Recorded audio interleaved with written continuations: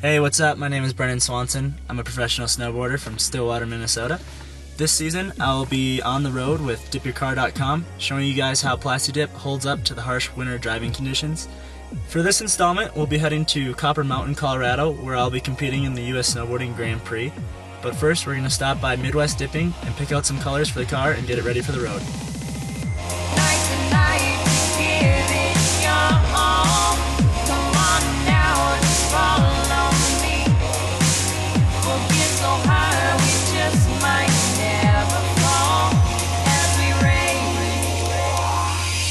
In the street.